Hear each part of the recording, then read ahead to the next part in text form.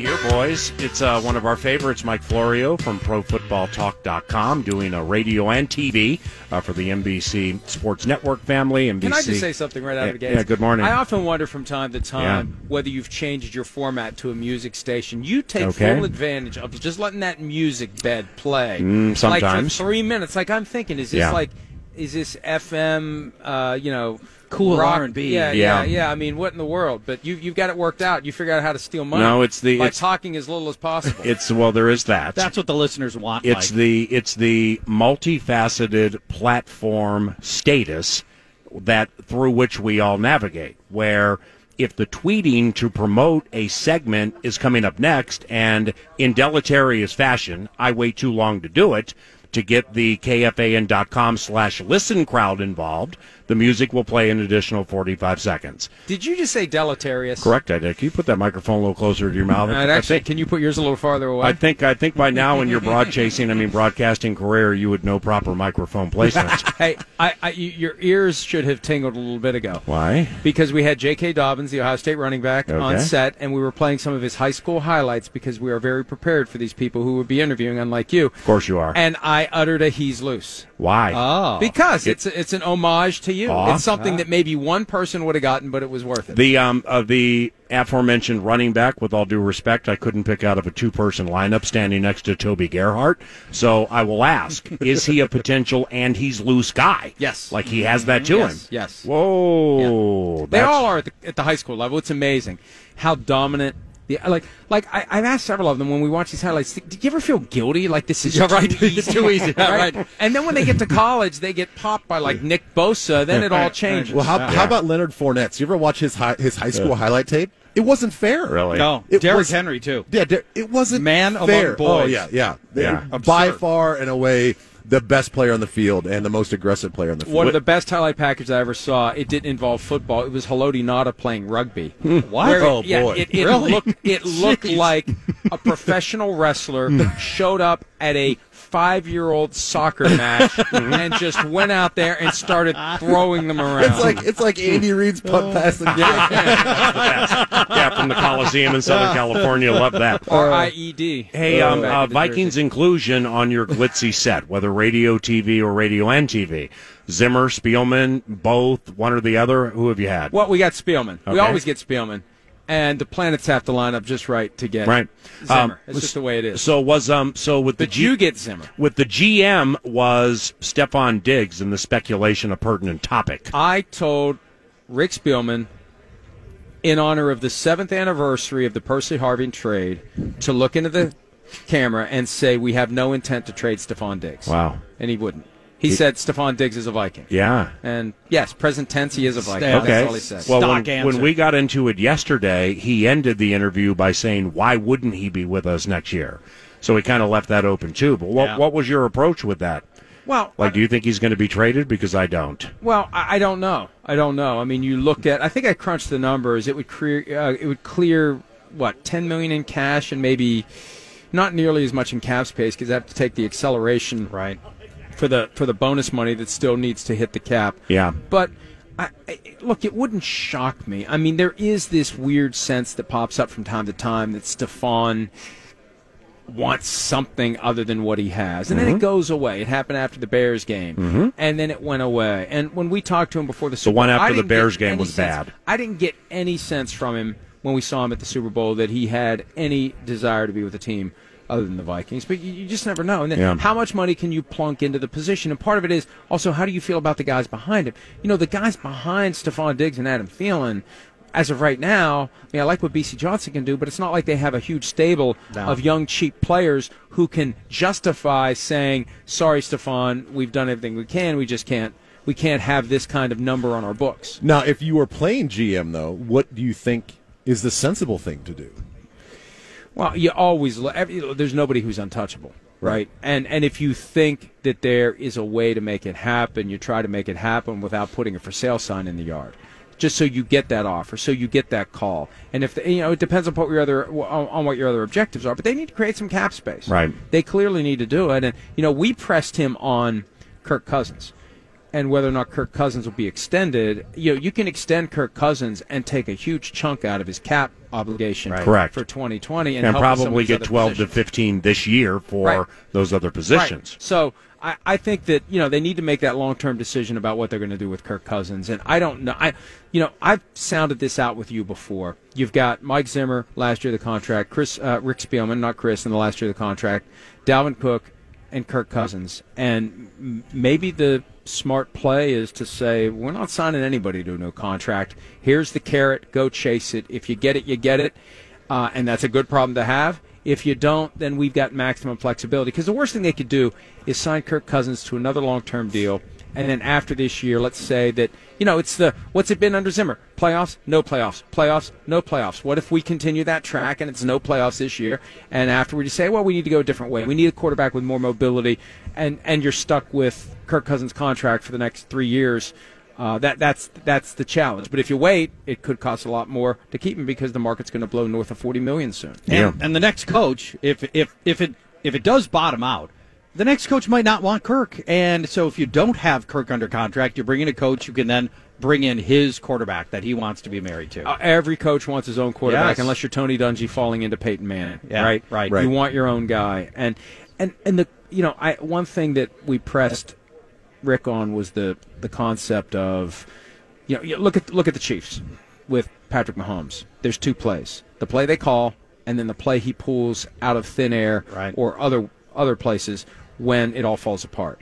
For Kirk, there's the play they call. Yeah. And when it all falls apart, it's over, and that's fine. Mm-hmm. That's fine, but uh, there, there's got to be a temptation at some level to get yourself one of these guys that can extend the play a little bit longer and and actually make something happen when the way it's drawn up. Eh, because you could say, and you know, Rick said, well, you know, if the offensive lineman misses his block and and and there's a guy in Kirk's face, is it Kirk's fault? Well, no, it's not. But if you're a guy who can run away from that and make something happen, then that's maybe the guy that you, you want to try to get. Not that they're Well, I, I Everywhere. Think, well, that's. I guess that was my point. Is that you compared him to any quarterback to a guy like Patrick Mahomes, and it's like he, he's got one of the most unique skill sets in the NFL right now when it comes to quarterback. And and yeah, you'd love to have a guy that's going to extend some plays, but very few guys have that arm strength. Very few guys have, have the vision that he has and the accuracy to throw on the run and throw, you know, from different arm angles and stuff like that. So it's easy to say right now on paper, yeah, let's find a guy with more mobility. Well, teams Right. have tried that, Right. and it doesn't always work. Well, I know, but there are plenty of guys coming out now from the college ranks that I, I think this willingness by NFL coaches to not try to jam the square peg into the round hole and say this guy's got to fit my system. Mm-hmm. But look, here's the guy we're getting. We know what he can do. Instead of trying to mold him, let's mold our approach to let him do what he did. And and there are you know there are plenty of quarterbacks now who can use their legs to extend the play. And and I know that's and you know, I know guys have won Super Bowls. There's one guy who's won six without the ability to extend the play laterally. But you know, when uh, Tom Brady's anticipation is such that he senses the walls closing in, he can step up, step to the left, step to the right, and get rid of the football. For for Kirk, you know, he doesn't have the ability to run away from the pressure, and he also lacks that instinct of Tom Brady to know the pressure's coming and to get rid of the football quickly. Um, you know, to a guy who's open. I think back on that the, the fourth down play against the Seahawks, and uh, you know, so he the, the two guys ran deep, and there were two outs on the inside slot by tight ends. I mean, that really wasn't an ideal play to run, but you know, it, you, you you want to give him a system that gives him a chance to find a guy before it all falls apart, and then he has to do it before it all falls apart. It's Florio from PFT from the Combine, Charge. Uh, two quick things on what you were just talking about. Number one, Kirk's not a statue, and he was really successful when they rolled him out in boots. And you know, unless little- unless they saw it coming and they had a guy in his face like San Francisco did every time they Right, did that rollout. and, and it, it can it can get blown up for sure. But he had a lot of success there. And the other thing you were talking about how coaches are getting better at working with the the quarterbacks they've got. Look at Greg Roman. If some other team had taken Lamar Jackson and just tried to make him into you know pocket passer guy and somebody who isn't going to run 15 times a game, you don't have the crazy success that he's got. So I, I think there's a lot to be said for that. I can't help but wonder how much better Mike Vick would have been in this day and age where yeah. you just say, And, and it, it isn't it amazing it took so long for people to figure out this isn't like discovering plutonium right this is this is what he does let's do what, he, he does best. and Yeah. let's not do what he doesn't do well and it all Yeah. works out You think um you, you think the NFL would ever take any of the rules or any of the dynamic things from the XFL? I, I hope they take the kickoff. Yeah. I think there's a lot of crow that would need to be eaten for them to take the kickoff Yeah. from the XFL because they've been trying for 10 years to first make the kickoff more safe by making it less Ir- irrelevant. Right, right. Yes. So there's no returns. Like, Right. okay, this is an unsafe play. How do we make it safer? We do it less frequently. No, that's not how you make it safer. And then Yeah. they finally did the redesign that's aimed at making it safer. The running start is eliminated. You don't have that mm-hmm. that huge high impact collision that you used to have. But this the, the XFL kickoff is a thing of beauty. And I hate I hate to keep it this low tech. It reminds me of electric football. when you've got you've got 20 guys Yeah. 5 yards apart Yeah. and they're motionless And you got the ball's bases in the set up air, nicely. you're- everything's ready. The Yeah. ball's in the air, the guy catches it and that's Yeah. the moment that the kid hits, Hits the that button. switch Right. and off Yeah. they go. But, I but love that. If you perceive the NFL to have any hierarchy like arrogance, then it would be tough conceding. Never ever. You came up with something better than us, and and, and we're going to take that. Yeah, because here's the problem. They may get this question anyway, but the competition committee has to report to the owners, and it doesn't take many owners to say, "Guys, you've been coming up with ideas for the last ten years on how to make this safer and how to make it more effective." Hmm. and th- this XFL kickoff's like, "What the hell? Why didn't we think of this?" And and I hope that the pride and the ego gets set aside. Mark Murphy, the Packers CEO, who's on the competition committee, has said he's intrigued by it. They haven't had formal discussions, which implies they've had informal discussions, and I'd love to see them do it. I would love to see them do it. Uh, it looks like we're nearing completion on a potential CBA, a full year ahead of when it would expire, and you know credit both sides for getting to the table way in advance of this thing getting ugly. And uh, it sounds like they're going to be presenting. The NFLPA is going to be presenting to its membership the opportunity to vote on this. Do we? What do you know that's in this new CBA that represents a change from from what's happening now in the Well, CBA? 17 for games. The, the, the, the whole focus And a bye. 17 it's not it's still one bye not Still two. one bye, still one bye right. not two Okay, good. the networks don't want two byes because when you put in two byes you start really diluting some of the weekends so you're going to look at the schedule and say oh my god what am i going mm, to watch this week in yeah. november and december Okay. Mm-hmm. but the 17 games was the biggest sticking point and what happened was the nflpa executive committee along with executive director DeMaurice Smith spent 10 months negotiating based on 17 games they reached an agreement based on 17 games. Well, it's and, and the example I've used, Paul, and I may have said it on your show. I apologize if I'm repeating myself. If you've got a lawsuit and there's two lawyers and they're they're talking and they come up with an agreement, okay, fine. This resolution is acceptable to us. Now we have to go sell it to our clients. Right. The NFL sold it to its clients. The NFLPA had a hell of a time mm-hmm. selling this thing. I mean, the executive committee that, that negotiated the deal voted six to five against it on Friday and seven to four against it last night. And the board of player reps barely passed this thing through to allow it to go to the full membership for a 50% plus one vote, which, you know, it's about 1,900 players. So what's that? About 950 You're going to have to say mm-hmm. yes to it. They think that's what will happen. But, you know, I think D. Smith was an advocate of this deal all along because he fears that if they don't take advantage of the opportunity to get a deal done now, pivot to the networks, and lock in long-term TV deals, there's going to be less total money for everyone, or or there's going to be less total money, and that shortfall is going to come out of the pockets of the players, not the league, when they do the deals when they finally get labor peace. I think that's why there was urgency to do it now. Right. So, uh, so this is obviously a former player's um, take on it, but I didn't see when I was looking at the bullet points any sort of headway when it comes to health insurance after their playing career. It's five years of post post career health insurance coverage, and then that's it. And I, I found I found it, you know, really really irresponsible. I think by by everybody involved that that wasn't even a, neg- a negotiating point. You know, I they didn't even ask an increase in a year or two.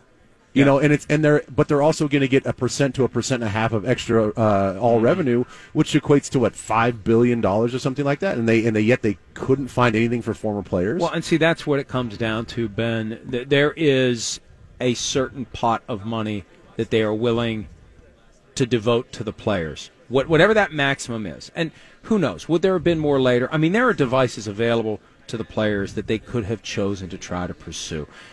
Maybe this time around, a lockout wouldn't have been as effective for the owners because you got some elderly and older owners like a Jerry Jones desperate to win a Super Bowl, do you really think he's going to shut down football for a year? Right? The antitrust litigation, which used to be centered in Minnesota, it happened with the Reggie White case, and that was the, the impetus for the the CBA in 1993 that gave the players something close to real free agency. Antitrust litigation would be a powerful weapon. The question is, do you want to go down that path? So, whatever the maximum pot of money is that the NFL will will give the players, what you do with it, that's yeah, that's basically up to the players. Like, what do you prioritize? Is it money in your in your regular salary? Is it funding for lifetime health care? What? How do you want to carve this up? You know, I'm surprised retired players are getting more under this deal because it's very easy for the union to say. And I remember Gene Upshaw said this years ago.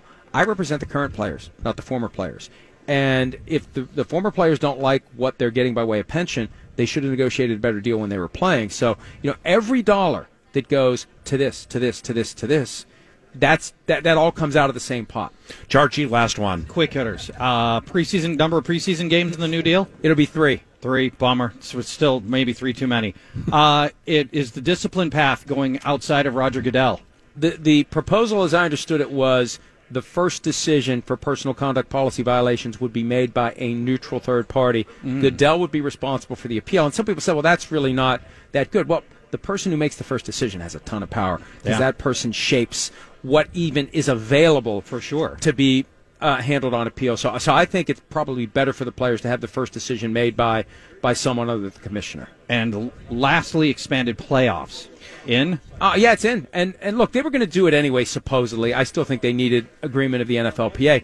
Uh, we've talked to coaches for the past two days. There isn't a single one that's against it because you know what? They all want if to you're playoff coaches. If you're facing yes. a playoffs or you're yes. fired mandate, yeah. you got another right. shot to get in. Mm. They're not worried about being the two seed and losing their bye, right. which they should be. Yeah. Right? Because yeah. I think it's going to. Here's what's going to happen. We're going to have five years of this, and the one seeds are going to be predominantly the representatives of each conference in the Super Bowl, and then the fans are going to say this isn't fair. We need to have 16 teams in the playoffs, and yeah, the NFL is going to say, "Well, if you insist." Right, right, yeah.